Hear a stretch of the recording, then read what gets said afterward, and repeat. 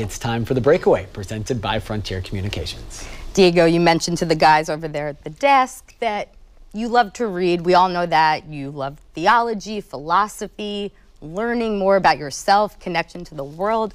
When did that start for you?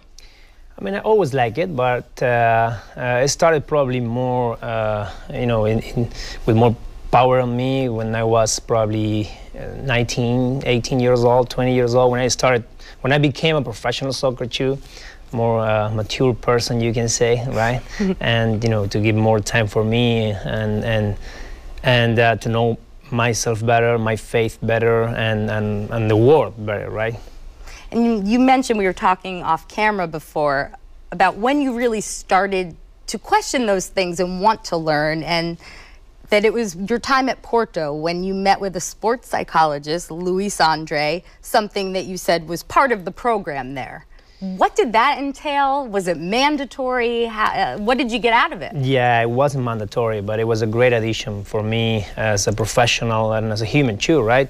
Uh, Luis Andre, we got you know very good conversations. We spent like two hours with a coffee or mate and uh, watching games. You know, thinking about the game and obviously thinking about what what you think during the game, which is the important thing. It was it was great. It wasn't mandatory, but I got a great relationship with him.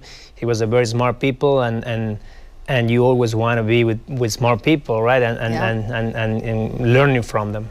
Had you ever thought about the game that way before meeting with him, or was that something new? Never. It was totally new for me, and it was great because uh, you know at that time I had probably five or yeah five or six years as a professional. I was you know I started very young, Yeah.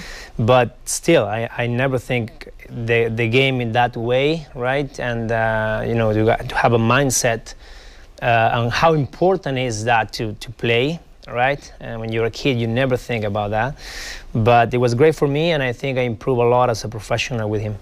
So, how does that kind of carry over to now? What are some of the benefits that have lasted to this point in your career from that time with him? You still, I mean, you still try to do things that uh, he he asked you to do and he proposed you to do because uh, that's a thing that every game you have to you have you have to keep doing it. It's not easy. It's easy to to say that uh, the theory is easy, but at the moment when, when you know our game is very dynamic.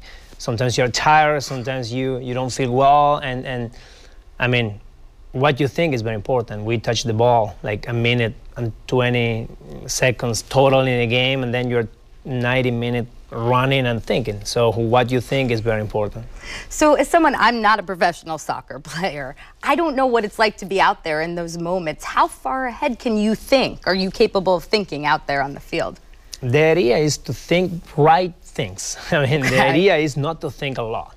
I mean, it's not to think in the result, it's not to think what happened before, it's not to think what will happen, it's to think now what you had to do and what is better to be, you know, in what position is better for you to be, in what movement is better, think about your teammate, think about your the ball, your the rival, but it's, it's, it's all about the moment and then when the, the game finish you can you can scout it.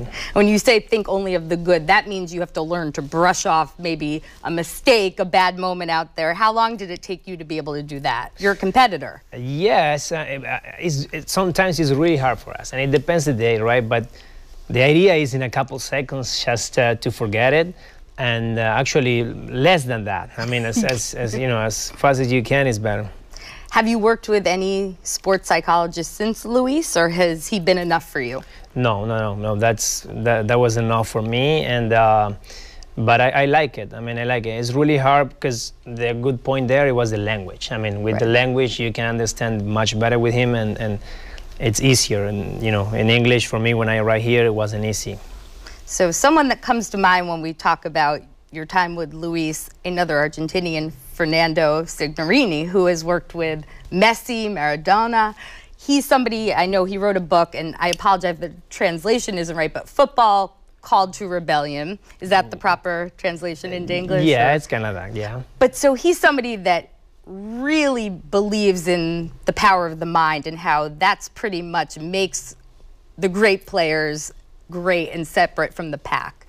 Have you read a, a that book, and what do you like about him? Yeah, I read that book. Florencia gave it to me, and uh, and it's great. He's a, I mean, he's uh, he's he's huge. I mean, Yeah. he's huge. Uh, a great person, and I, I had the opportunity to meet him. You did? Yeah, to meet him, uh, and I have a good relationship with him. But he's uh, very experienced, as you say, a long career. But more than that, I mean, he's he is very creative. I mean, the mo- he's very focused on to be creative. You know how to be better in this role. I mean, soccer is a big world, so you have to be creative on that. You don't have to copy. You don't have to.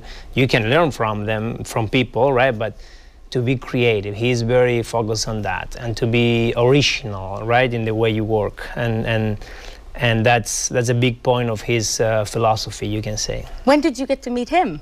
I met him with a, we, we ate dinner with a friend we have you know between us, and uh, yeah we had a like three hours conversation. He's you mean you I mean I didn't say anything. I just heard.